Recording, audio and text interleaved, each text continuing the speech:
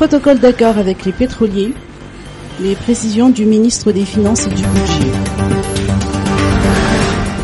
Euh, par rapport, comme il a été souligné tout à l'heure, euh, par rapport à, l'augmentation qui est inattendue du prix du baril euh, à l'international, cela a aussi ajouté à la complexité du problème. L'engagement aujourd'hui, c'est de retourner à la vérité des prix. Et on va s'y atteler à partir de l'année prochaine. C'est ce qui a été convenu avec les pétroliers dans le cadre de la convention qui a été donc signée euh, récemment.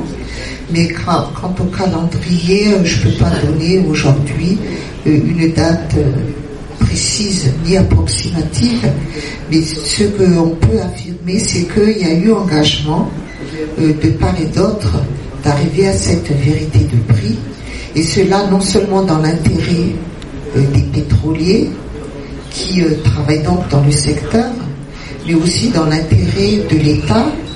Euh, pourquoi? Parce que euh, ces différences de prix, à un moment ou à un autre, euh, iront peser sur le budget.